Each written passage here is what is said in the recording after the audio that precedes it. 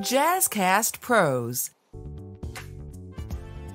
Welcome to Living the Front Seat Life podcast. It's me, your host, Kelly Marie. And if you're listening, then it's probably just a regular podcast for you. But if you're watching, that means you are one of the first folks to ever see a live recording of Living the Front Seat Life podcast. So I am at the Eat Off Art pop up shop in downtown Buffalo. Um, and I am so excited. It's kind of weird. I feel like a fangirl because the two owners are longtime friends of mine, but you can see some of the artwork in the background. They are exceptionally creative, creative people. And I'm going to get them on camera and talk a little bit about mental health. So you'll have to either go online and check that out on Instagram or Facebook, The Front Seat Life.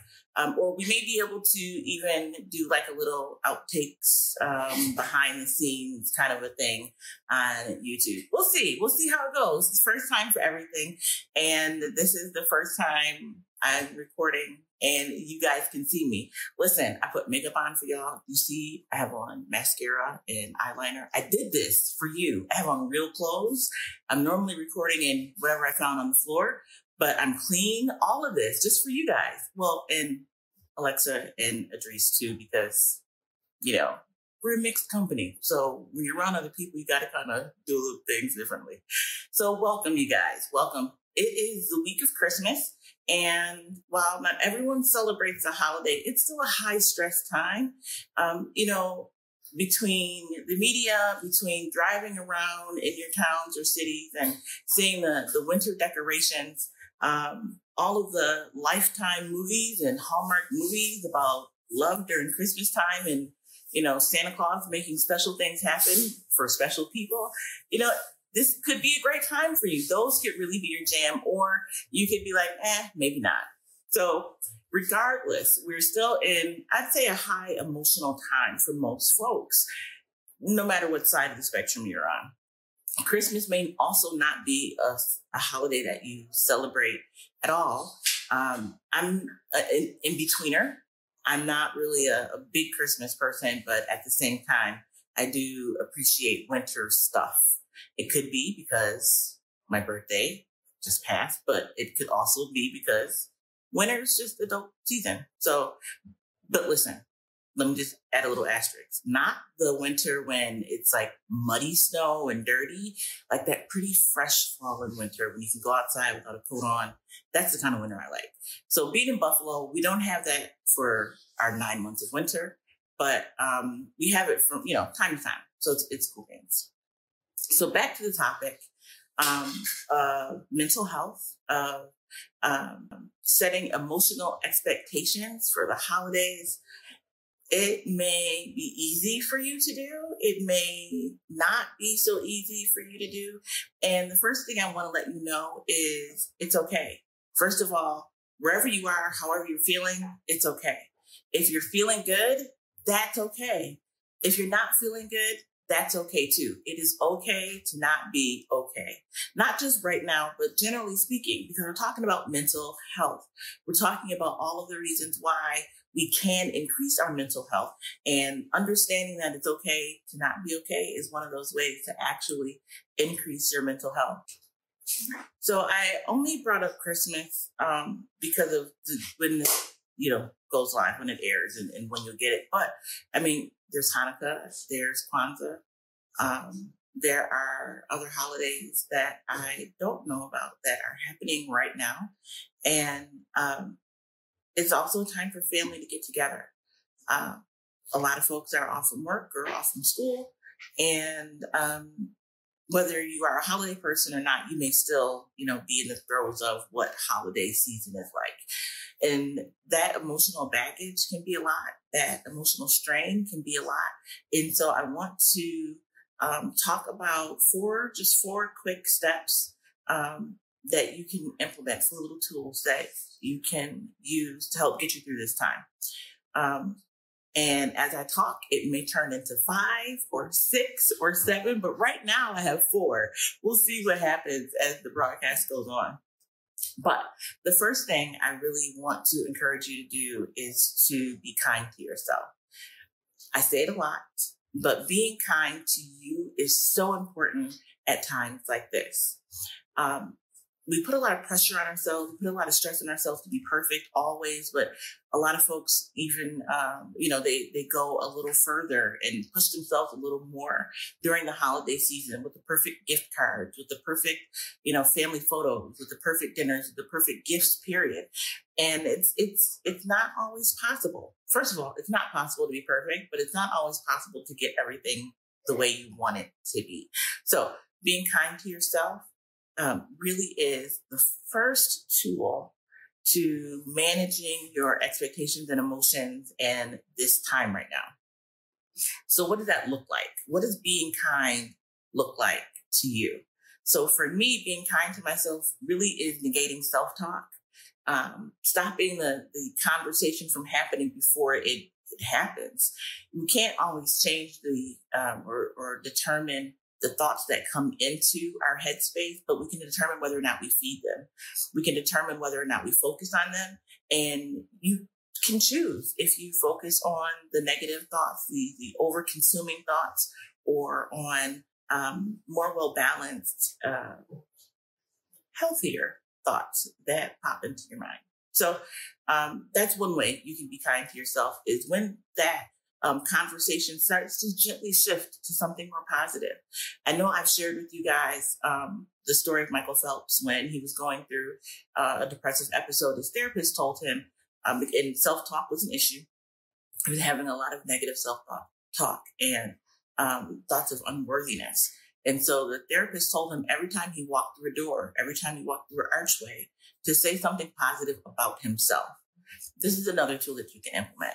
So you might be at home and you're not leaving your house. And if you're not leaving your house, you're like, I'm not going anywhere. I'm not walking through any archways, but you are. You have to get up and go to the bathroom. When you leave your bedroom, come back into your bedroom. We're talking doorways and archways. So if you're going into another room of your house, regardless, you're moving through another space. And that's plenty of opportunity for you to tell you how great you are. I struggle with this sometimes and I will default to using that strategy. And sometimes it's just a little kickstart. I just need a little something to get me going so that I can focus on positive thought processes instead of those negative or overwhelming ones. So if you're going to be kind to yourself, I want to encourage you to set expectations. Set expectations for you, set expectations for others. So we're talking about um, you know, some folks may not want to celebrate the way they used to. Maybe they have never celebrated before, and now all they want to do is spend time together. Everyone's in a different place. And so it's important for you to know what your expectations are, what's good for you, and what's not good for you. This kind of ties into boundary setting. So, setting expectations. Are you expecting people to come to your house? Are you letting people know, don't expect to see me because I'm not coming to your house. Whatever those are. Are you celebrating? Are you not celebrating? Are you gift giving? Are you not gift giving? Do you have a, a dollar amount on gifts? Do you want to, you know, do some outdoor activities because you want to spend time with your friends and family, but not in close quarters the way that you used to? There's a lot of expectations um, that people have, and usually expectations don't match up. Sometimes they do, but they don't always match up, even if you're in a repetitive situation. So even if it's family dinner and you always have family dinner every year, people have different expectations of what that's going to look like. And they're not going to be the same, even though you're in the same space time and time again. So setting those expectations and communicating them clearly to those that you love or those that you don't love uh, it really is a, great tool that you can use to help manage your emotional. Um, I, I, really don't use the word luggage, but we'll, we'll use that. Your emotional space, your emotional space for a time like this. So we have be kind, we have set expectations, and I mixed in there set boundaries. Boundary setting is really key. You can set your own expectations, but if you don't articulate them, if you don't have um, stipulations around what those expectations will and will not do, or uh, the repercussions for. Um, I know. I think you guys know where I'm going with this, but when you have repercussions for your expectations, hi, it's so much easier to set boundaries those boundaries are going to help you help yourself. Those boundaries are going to help you really figure out and be better able to deal with your emotions. We're talking about emotional health. We're talking about mental health. We're talking about what it means to really um, be healthy at a time like this. So we have be kind to yourself, set expectations, and set boundaries. The fourth one is to be the light. Now, I talk about be the light and being the light all of the time, but what does that mean right now? It may not be easy to be the light. Again, we have all of these things going on around us. We're managing loss. We're managing the expectations of others. We're managing our own expectations and setting boundaries. And it's not always easy to remember to be the light to be that voice of kindness, to be that kind act for someone. Now, usually this is the time where a lot of folks are giving. Um, they are making year-end contributions, and this is a time where um, you know food pantries have, have food overwhelming their shelves because a lot of people are giving. They're giving of themselves, but there's a difference between giving a thing like making a donation and giving something internal like kindness. So be kind to others being the light, opening the door, saying hello. You don't have to say happy holidays. You don't have to say Merry Christmas. You don't have to say anything. You can just open the door and be the light. You can say, hello, how are you? And wait for an answer and be the light. You can be open and honest with where you are, setting expectations and those boundaries and still be the light. So I encourage you guys when you are really looking at taking on too much or setting those boundaries, I'm going to go with setting boundaries and expectations. So you're not taking on too much, but y'all grown and you're going to do whatever it is you want to do. My recommendation would be to set those boundaries and only take on healthy amounts of things. You know what that's going to be.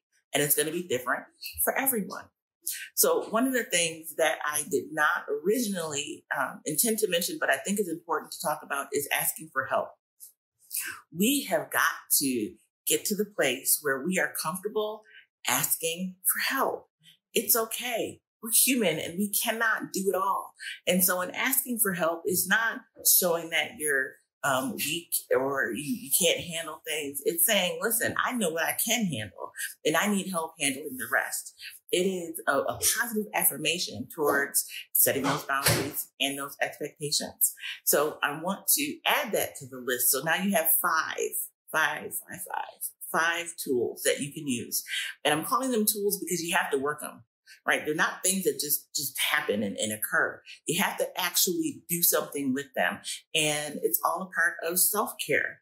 Um, I just was uh, participating in a panel and we were talking about um, boundaries and what burnout looks like and being the light and, and setting all of these expectations. And one of the things that I think was um, most profound was that so many people from so many different backgrounds all agreed around what mental health was and is and what burnout is and how we can go about being healthier individuals.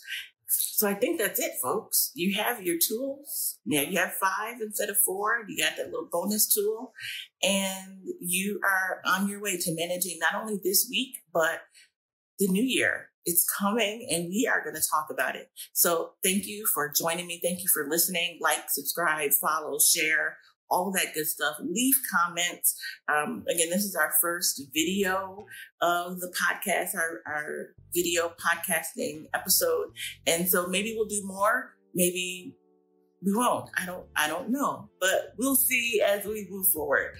A big shout out to Alexa and Andres Wadjet here at Eat Off Art for hosting Living the Front Seat Life podcast. Um, I love being in this space. I love being in their space. They're great, amazing people. And I want you to check out um, the uploads for our conversations that we're doing, like behind the scenes, post production, fun stuff.